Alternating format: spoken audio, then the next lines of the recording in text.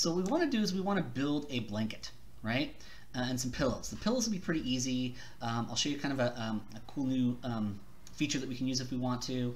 Um, but uh, the big thing is the blanket here, right? Because um, that's going to allow us to do our first little bit of spline modeling, right? Um, we're going to do a loft. Now, what is a spline?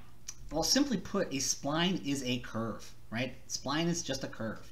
So we're going to do is we're going to create a couple of curves here that are going to allow us to actually um, uh, loft between these, right? Um, that's kind of like a bridge tool. We haven't really gone over the bridge tool yet. We're going to see it uh, on many occasions. That's actually one of the more powerful tools.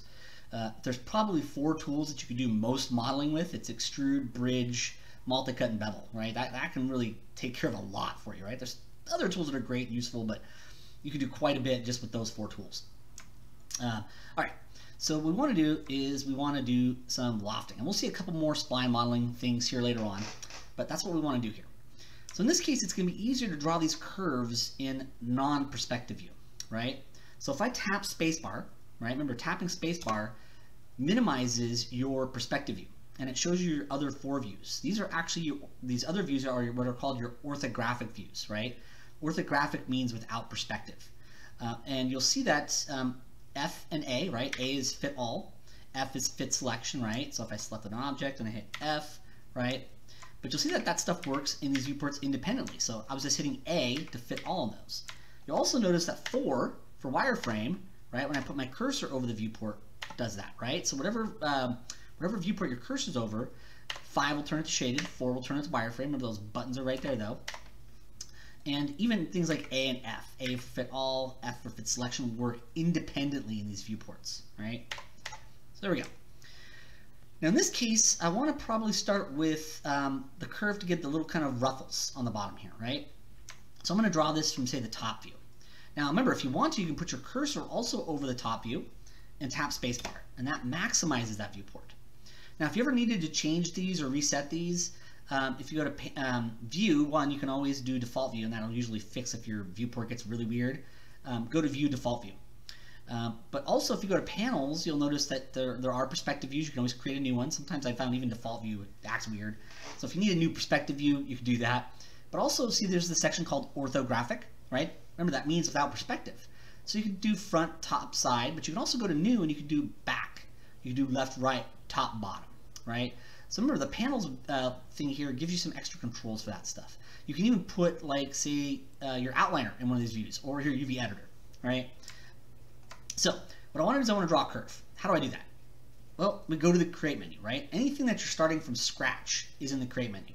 Everything else in the mesh, edit mesh, mesh tools, modeling toolkit, you're modifying an object that already exists, right? Um, but when you need to start something from scratch, you go to the create menu here. And it's either primitives, right? Uh, or curves. Uh, there are NURBS primitives, uh, and we'll talk about that uh, a little bit more specifically when we do our lamp right? I kind of usually save that discussion really more for there, um, even though technically we're doing curve stuff. Um, so I'll kind of touch upon it here a little bit, but I usually save it a little more for like when we're talking about the bi-rail for exercise two, or actually that's exercise one, yeah. Um, so we'll, we'll, talk a little more about NURBS primitives later on, um, but really we're going to do spline stuff that's going to output as polygons anyways. So we go to create curve tools, right? And there are a couple of options here for these other curves. Um, we'll talk about those a little more when we get to other ones, but um, for right now, we'll just use the CV curve tool, right? So we'll go to create curve tools, CV curve tool, and I'm just going to hit that. And like I said, we'll just, because I want to just get you guys doing a loft, doing your first spline thing. Like I said, later exercises, our, our lamp, we'll do these a little more, we'll go a little more in depth on those differences. So in this case, what we do is we just left click to create a point. Now by default, um, your uh, curves um, are 3 degree cubic. That means you have to create at least four points for it to draw the curve properly. So that's why when I left click again to create another point, left click again to create another point, we don't really see a curve yet, just some lines. Now when I click that fourth point, you'll now see a curve shows up. That's because by default this is a 3 degree cubic curve. And that really means it's got a start point and an end point and at least two other control vertices. That's what CV curve means, control vertex. And these are really kind of uh, a term that only relates to got NURBS curves and NURBS surfaces. Um, but it's a 3 degree cubic, so you have to have at least um, four points, a start point, an end point, and at least two other points to allow you to control curvature. And what I do is I can keep left clicking and you see how I can kind of put in a nice bit of little kind of ruffle curve shape. So we just left click, left click, left click, and this will allow us to kind of put those points in. Now when you're done, you hit enter, right? Enter on your keyboard, and then you see it becomes green because it's now an object. Now if I wanted to, and I put my cursor over the curve, I can hold down right mouse button, you'll see it has its own marking menu that's relative to this curve. And you see control vertex or CV. So whenever you see CV in Maya, that means control vertex, right? And you can go back in and you could modify these points, right? Cool. So that gives us a curve. Uh, now in this case, I'm going to tap spacebar to go out to four views. And you'll see it's kind of pretty high up there, right? And I want the ruffle to be more at the bottom and then thin out at the top. So this is really going to be our bottom curve. So I'm just going to, you know, grab the green arrow and move this down a bit.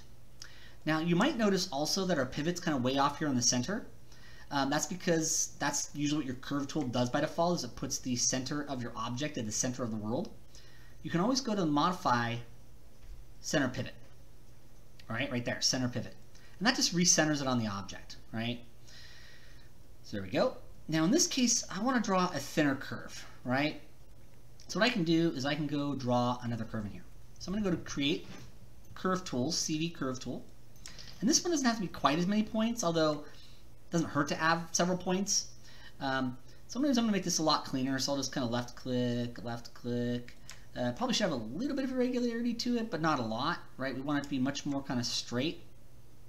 So remember, just left click, left click, and it creates a point where you left click. And you hit enter, and then you're to make it. So remember, to create a curve, just create CV curve tool, CV curve tool, left click, left click, left click, left click, hit enter, makes it. Now this is an object, so I can delete it, right? And you notice this curve is higher up. Now I want this to be a little closer to the bed, right? And probably even a little higher. There we go. Now, usually to kind of make these curves a little more rounded, we probably should have a couple more copies of this curve. So remember, we can always, uh, and I probably want my center centered, so modify center pivot. And remember, we have the edit duplicate, don't we? We've seen this actually a couple times already on these first two models, right? So edit duplicate allows you to copy a whole object. Remember, edit mesh duplicate allows you to just copy specific polygons. We use that to make the drawer for our end table or our nightstand, right? Um, we're going to use it on a desk, right? A desk is just going to be an honestly more complicated end, uh, end table, right? It's actually mostly the same concepts. I'll show you a little more about precision snapping with the snap vertex tool in that one, and we'll talk a little more about stars, but it's going to be mostly what we did on the end table.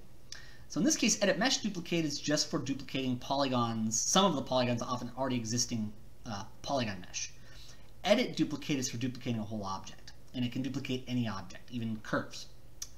So I'm going to duplicate, and I'm going to bring this one down a little bit, just because it helps us to have a little bit more, um, to kind of round the curve up properly right? If you have too few, the curve can behave itself a little bit weirdly. Um, and I'll select this guy again, and we'll duplicate that one, edit duplicate, and we'll kind of move this one up, maybe in a little bit. And then we'll duplicate again, and I'll probably leave one right about there, and then we'll duplicate one more time. Just if you have a few more curves, it makes the loft behave a little more predictably. Now, here, this is not quite flat. That's okay. When we mirror this bed over, this you know, it'll merge together pretty well. But that gives us our curves. Now, you notice that you could copy curves, right? Uh, but you can also make your own. Now, in this case, what we want to do, since I've already got them all placed, is I can uh, put my cursor back over perspective, tap spacebar, right? Remember, tapping spacebar will minimize a viewport if it's maximized. And then whatever viewport your cursor is over, when you tap spacebar, will maximize that. So spacebar is kind of that minimize, maximize. All right. So now what I want to do is I said like I want to loft. Control S to save again. Now the way lofting works is it does matter the order you select it, right? So if I select this curve and then I select this curve, what it's going to do is it's going to loft from this one to this one, right? So it's going to create geometry from here to here diagonally. That's not really what we want. So generally you want to kind of select the curves in the order you want them to loft. And it makes a lot more sense that we'd want this guy to loft to this one, right? So create geometry from here to here. And then we can shift right? Remember, shift adds to selections. So I can shift left click. Remember, we're also in object mode, right? So remember, we're in object mode. Shift left click there because then this will connect to this one and then this one will connect to this one. And then we shift left click. So you kind of select in the order you want them to connect. There we go. And now what we do is we go to the surfaces menu, right? So this is still in the modeling section because this is all modeling tools. And there is a section called surfaces. And we are really not going to go into this that much. Um, nobody really does serious NURBS modeling anymore, at least in our industry, right? Um, so when we, even when we use splines, we usually output polygons or convert to polygons pretty quickly. Um, so uh, in particular, we're going to use, use things like loft, revolve, birail, extrude this term. Uh, so we're going to go to loft, right? It's the very top one, right? So we're going to go to loft. And what it's going to do is really it's just built to take separate curves and create geometry in between them based on the order they were selected in.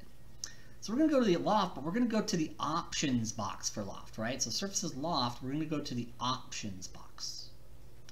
And it brings up these options. Now, most of these defaults are fine. Uniform, auto reverse, cubic, section spans one. The big thing though we want to do is you'll see at the very bottom, we have output geometry.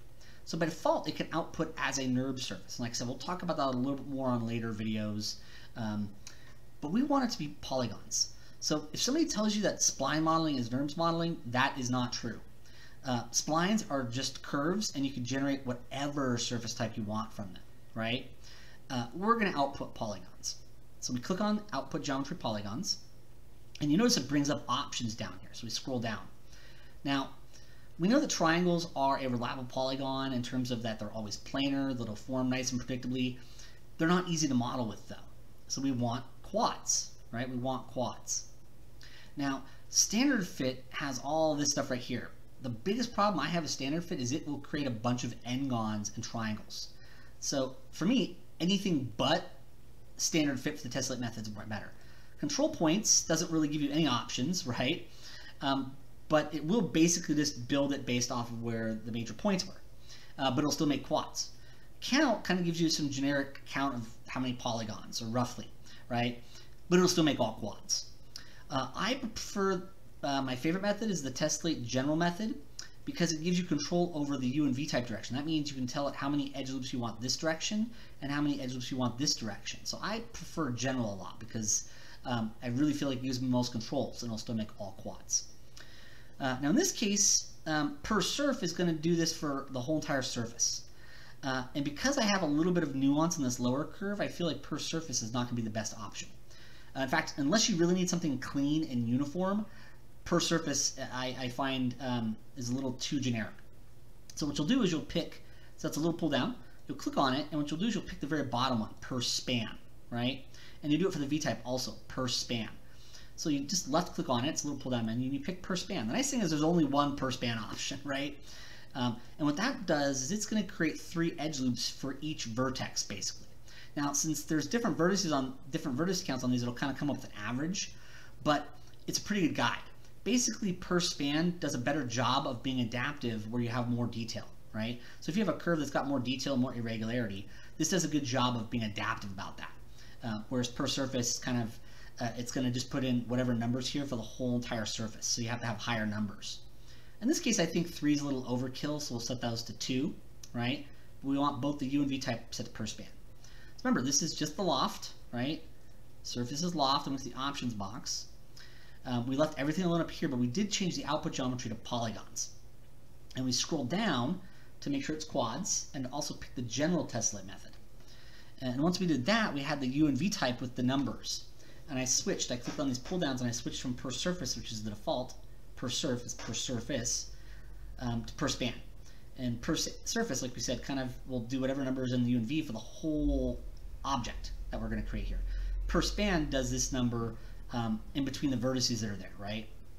So um, if you're going to use per surface, higher numbers in the U and V. If you're going to use per span, lower numbers. And I'll hit loft, and there we go. Now you'll notice this is far from perfect because of some of the curve issues, right? But here's the thing. Those curves are still there, right? So if I want to, if I hit 4 for wireframe, I can actually go in here and I can still find wherever those curves are at. Right there, right? So there's one of those curves. So somebody just left click drag, and you see it's got a white and green. You can hold down control to deselect the green, like the 5. What I could do is if I want to, I can kind of move this around, right? So sometimes it's just a little too close. You might move it down and out a little bit. Uh, I can grab this bottom curve, and this is kind of our first introduction to what we call history uh, inside of Maya, right? And what history does, I can even grab this curve, right? Move it down a little bit, maybe out. What history does is it keeps um, connections between the geometry, right? So what that means is that this geometry is the child of those curves, right? So if you go back and modify the curves, it'll modify the geometry underneath it, right? So if I select this curve, I hold down right mouse button, control vertex. I have to be a little careful with this one, right? Control vertex, grab that guy. You'll notice it'll change the actual underlying geometry. So if you kind of want to maybe play with these ruffles a little bit more, adjust them a little bit better, um, you can start to get that, right? Um, if you need to, and maybe you're finding, hey, maybe I got back to object mode, maybe this curve just wasn't working out for me, right? You can always delete that, and you see it makes me maybe makes it a little simpler for us. I liked having that, though. I feel like it gave us a little more direct control. You see how we can kind of move it down to give it a little more control there. So remember, you can go back and select these curves individually, right? And one of the ways you can also do that is if you go to Windows, right? There's a Windows menu here. There's something called Outliner, right? Windows Outliner. What that does, that brings up a list of everything that's in your scene. And here's all your curves and your objects. Now you see there's a bunch of these grouping. We're going to talk about that momentarily because that's something we have to clean up for this project, right? But you can easily select your curves from here as well if you want to, right? So you can always select them in view and then kind of deselect what you don't want, right? Hold down control to click on them. But you can also select them here. But there is history between these, right? That means that this geometry is a child of these curves, right? There's history between them. So whenever you modify the original curves, it will modify this geometry. Now in this case, uh, we can see that it's black, right? What that means is the polygons are just flipped inward, right? They're just flipped inward. You can actually see the proper gray on the other side. How do I flip these? Well, make sure you're in object mode, right? Hold down right mouse button, object mode, click on the bed object. And then the mesh display, right? We saw the soften edge on uh, some of our other parts on uh, uh, our bed. But you'll see there's something called reverse in the mesh display, kind of up towards the top. And what that'll do is that'll flip the polygons or their normal directions to point back outward instead of inward. And you see how we kind of have a nice clean form up here because we use several curves, but then we have that nice little ruffle at the bottom here. And see it's all quads, which is nice and neat, yay. Um, and you saw that we could actually come back in here and just modify these curves and their position affects that, right? So this is our first foray into Maya's history, and I'm going to talk about more momentarily as well. Uh, now in this case, I'm going to um, not mirror this quite yet, because um, I do want to talk about um, how to create the pillows really quick. Uh, and then I'm going to show you guys how to clean up the outliner stuff here. Now the pillows, when you look at pillows, they're really just kind of soft, fluffy, rounded cubes, right? So that's pretty easy for us to create, right? We can go to Create, Polygon Primitives, Cube. There we go. And I've got W on for move already, so I'm to bring it up. And I'm going to hit R for scale to scale it down, right? Because we want it to be more of a rectangle shape. There we go. Now, at this point, if we really, really wanted to, we could just add some edge loops, do a little bit of shaping, right? Uh, that'll be pretty easy for us. Um, in fact, that's probably a good idea to keep doing that here, right? Um, I'm going to show you some smooth preview later on, but I feel like we've already got enough on our plates. So we can just go to multi-cut, and we can hold down control, and if I want, I can hold down control shift, to put an edge loop right in the center. But I really do need some extra edge loops here as well. And if we want, we could hold down control shift, just put these in the center also, just to give us a little bit of shape. If I want, we can always go to symmetry here, right? World X, and you notice how it's on, and I can actually put an edge loop here, so hold down control, kind of put one in a little bit at the corner there. And what we could do with enough edge loops here is we could start to just go back into Q for our regular selection tool. And I could double click on an edge loop, right? Hit W for move. I can move these in, right? Remember, you can start to take advantage of these squares to move two axes at a time. And I could double click on this one down here, kind of bring this in a little bit. Double left click on that one. And you see how this edge loop stops at that three star, right? There's a vertex of three edges coming out. That's a three star, right? Um, so the more you have n-gons and triangles in a mesh, the more you'll run into areas where there isn't a proper kind of um, four star, right? A vertex with four edges coming out of it. and your selecting edge loops will stop working in those areas. Once again, that's one of the many reasons why we prefer quads for modeling, right? Adding edge loops works really predictably with it, even selecting edge loops. So I can just double click on these edge loops, double left click. I've got the move tool on, right? You don't have to turn the move tool off to do this, right? And leave it on. And remember, you can move just along this axis and this one too, but if you have these squares, you might as well take advantage of them, right? And I could double click on this one, maybe hit R for scale to scale it out, right? Although in this case, you can hit W for move and move it out, and you notice how it won't pull that center one off because of symmetry, right? And I can even grab just this edge and bring that one back in, right? So it's pretty easy to kind of use your symmetry and not have it move off the center. It's one of the cool things about symmetry is that center will not move off no matter what you do. If I want to, I can just select these two edges, maybe bring them down a little bit, just kind of give that a little bit, kind of that frill it gets there. These edges might come out a little bit. And you see just with a few edge loops, you can start to get kind of a little bit more of that kind of rounded shape you're looking for. Kind of create a pillow. And if you want, you could add a few more edge loops in, right? So I could always kind of go in here and maybe put a multi-cut in there and in there. Double click on that one. Maybe hit R for scale to scale this all out a little bit, just to a little bit more roundness, right? So you can always go back in here and just kind of add a few more multi-cuts, right? Just to kind of give you a little bit more direct control over shape. Maybe scale this one up a little bit. Double click on that one, scale it up a little bit. W for move, you can always move them out a little bit here, and you see you can kind of really get a little bit more roundness on this stuff. Maybe even double click on that one to bring it back in. And this will start to allow you to get a little bit more of kind of the shape you're looking for for this, right? Uh, for these pillows, I'd probably try to keep them quads. Um, you know, if you need to, you can always add in an extra loop or two to do a little bit better shaping. But in this case, you see the symmetry worked well for giving us some good control of shape for it, right? So we just created the cube, made sure to put an edge loop down center, turned our symmetry on, and then this was just multi-cut, and I was putting edge loops in, right?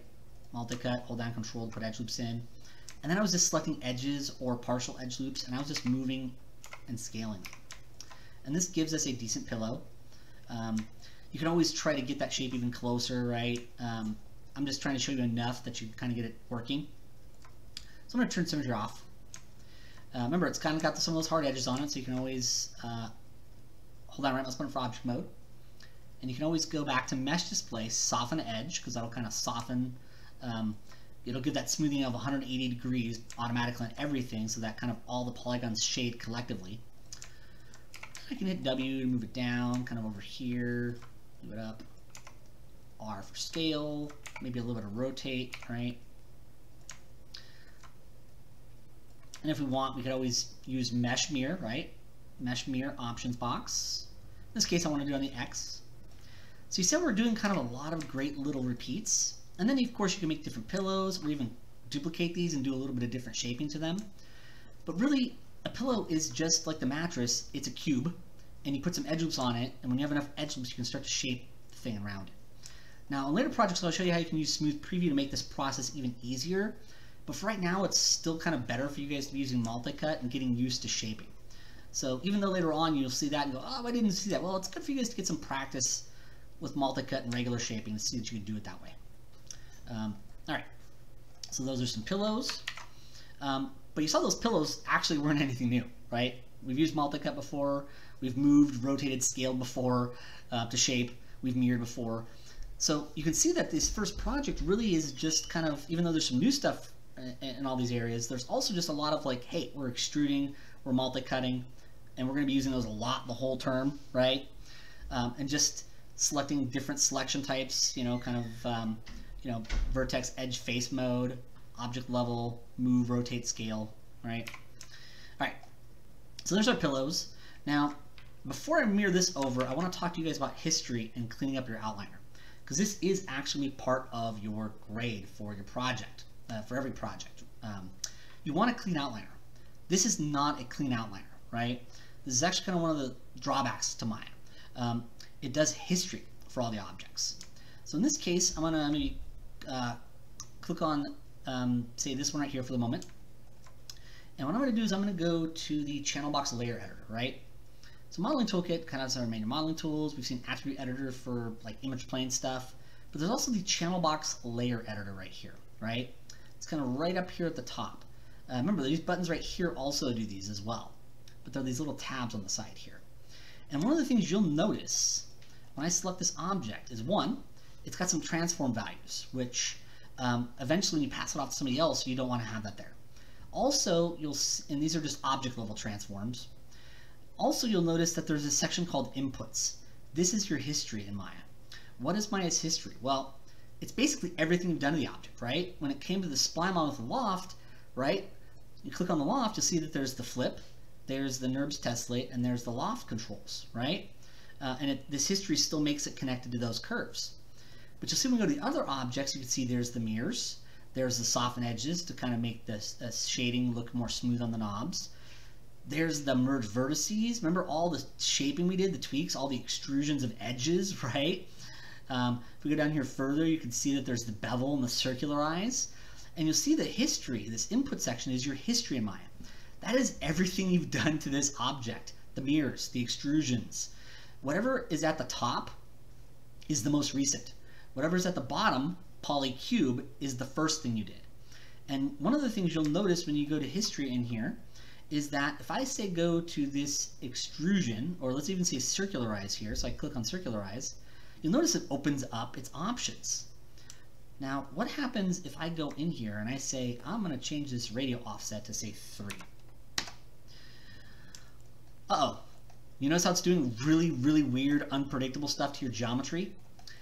History is one of those things that initially seems cool that I can go to any step and modify it, but believe it or not, often it is chaos, right? History is like it is in Back to the Future or Avengers Endgame, right? Or any of the time travel movies I talked about. You change stuff and it has the butterfly effect where it can have radically different outcomes in the future if you go back and change it. Same thing here.